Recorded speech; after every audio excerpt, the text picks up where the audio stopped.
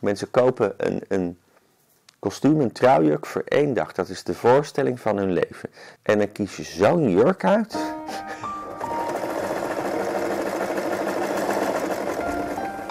Ja, die, dat, als je een trouwjurk ziet, dat moet een sprookjesachtige jurk zijn. Dat heeft iets feerieks bijna. Waarom kies je dit uit? Is dit nou echt het allermooiste wat je kunt vinden?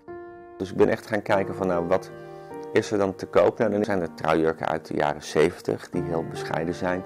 En er zijn trouwjurken uit de jaren 80, wat dan enorme suikertaarten zijn. Ik wilde wel van het imago van die trouwjurk af, want het moest wel iets anders worden. Dus ik heb ze in de wasmachine geverfd. En dan haal ik ze daarna helemaal uit elkaar.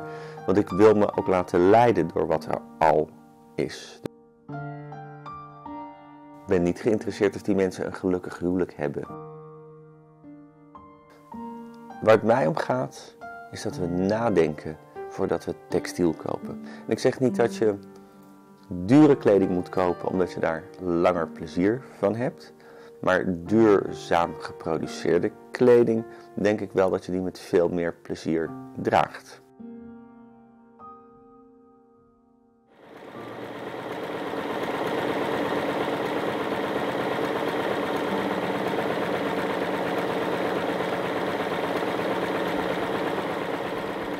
Iedereen pikt het maar. Iedereen zegt nou corporate responsibility. De, de, de, de banken en de topondernemers zijn gaan kijken en ze maken zich zorgen. Nou, je moet je geen zorgen maken, je moet er wat aan doen.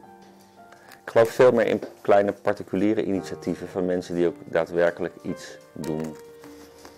Ik kan ook wel gaan kijken hoe de poolkappen smelten. En nou, dan kan ook gelijk bedenken, dat kan er beter nu hier iets aan doen.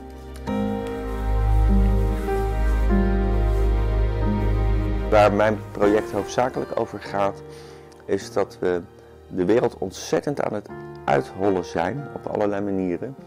Dan laten we straks een wereld uh, achter zonder natuur, zonder dieren. Vandaar de naam van het project Où sont les éléphants? Waar zijn de olifanten? Die zijn er straks niet meer.